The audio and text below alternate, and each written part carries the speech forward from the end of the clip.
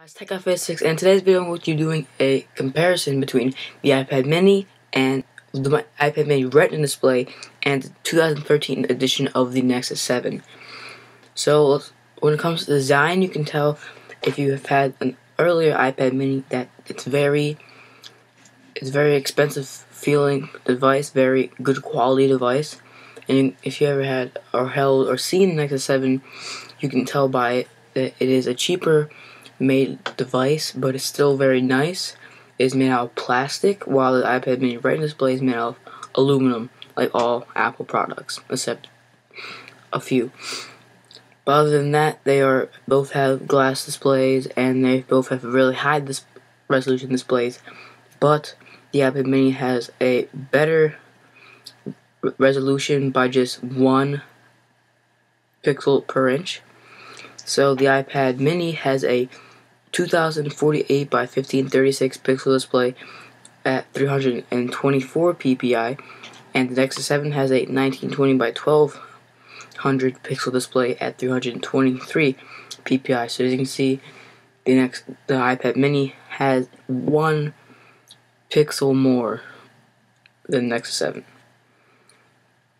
but the iPad mini does have a bigger display by 9 inches. So if you like a little bigger of the nine, um, 7 inch display, then you probably want to go with the iPad mini because it does have a bigger display by 9.9 inches. When it comes to operating systems, the Nexus 7 of course runs Android 4.3 or whatever the newest version of Android is. You get the stock, the newest version of Android whenever it comes out when buying a Nexus tablet. And of course, iPad mini is also going to have the newest version of it iOS when it comes out. So which right now is iOS 7. So depending on whatever OS you like more, you're obviously going to want to go with that tablet. When it comes to processors, the iPad mini Retina has a A7 chip with 64-bit architecture and M7 motion coprocessor, coprocessor, while the Nexus 7 has the 1.5 GHz Qualcomm Snapdragon S4 Pro processor. So when it comes to speed, they're both going to be very snappy, so you're not going to really notice the difference between the two. When it comes to gaming, they're both really going to be good also, so that's also pretty much a tie between the two, because the A7 chip works really good with iPad Mini, and the 1.5 GHz Qualcomm Snapdragon chip works really good with the Nexus 7. When it comes to storage options, the Nexus 7 only has a 16 gigabyte storage capacity model and a 32 gigabyte, while the iPad Mini goes 16, 32, 64, and 120 gigabyte model. So if you want more storage on the device, you want to go want to go with the iPad Mini Retina display. They both have no external storage options. They both have 5 megapixel rear-facing cameras, and the iPad Mini Retina has a 1.2 megapixel FaceTime HD camera, while the Nexus 7 has a 2 megapixel full HD front-facing camera. So they're not much different when it comes to megapixels, but the iPad mini it does look better because I have the Nexus 7 and I have the iPad mini. So I'm guessing they might up they upgraded it so it lets in more pixels now. So I'm guessing it's gonna be even better than it was last year. So I'm gonna go with the iPad mini's front-facing camera and the back-facing camera because they do uh, look a lot better than Nexus 7's.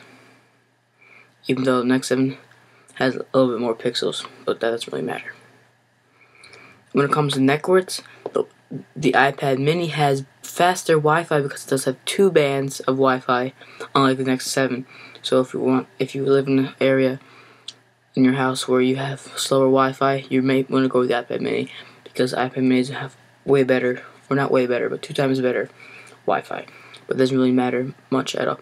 When it comes to Bluetooth, they both have Bluetooth 4.0. When it comes to battery, on both tablets companies are saying that you'll get about 9 to 10 hours of battery life with normal use. So when it comes to battery, they're pretty much the same. When it comes to NFC, the iPad mini does not have NFC, of course, but the Nexus 7 does. So if you really want an NFC on your device, you want to want to go with the iPad with the Nexus 7. When it comes to ports and connectivity, they both have 3.5 millimeter headphone jacks, and but the the Nexus 7 has HDMI out, so that's an added feature that the iPad Mini does not have. So if you want that, then you can also uh, obviously go with that. When it comes to sensors, the iPad mini has a access gyro, accelerometer, ambient light sensor, and the Nexus 7 also has that. So the same with that. They both have GPS. When it comes to height, they are identical in height. When it comes to width, the iPad mini is 5.3 inches, while the Nexus 7 is 4.49 inches. When it comes to depth, the iPad mini is 7.5 millimeters, and the Nexus 7 is 8.65 millimeters. So the iPad mini is thinner by just a little bit, by about a millimeter. When it comes to weight, iPad mini is 0.73 pounds, or 331 grams, but the Nexus 7 is 290 grams, so it's going to be weighing a little bit less than the iPad mini. When it comes to colors, the iPad mini comes in two space gray and black or silver and white, while the Nexus 7 comes in one color, which is black. That's pretty much it with this comparison. As you can see, they're both pretty specced very closely together. So the main reason you choose between this tab these tablets is, I guess, the operating system. Whatever one you probably like the most. In my case, it does not really matter. I'm trying to go with the iPad mini though, in my case. But if you like Android better, probably want to go with the Nexus 7. If you like iOS better, probably gonna want to go with the iPad mini. And that's pretty much it for this video. Make sure to like it, share it on Facebook, Twitter, Google+, Plus, subscribe to this YouTube channel. Make sure to hit that like button down below, and I'll see you in the next video. Goodbye. Make sure to check out all of my Apple coverage of their event last yesterday, and I'll see you later.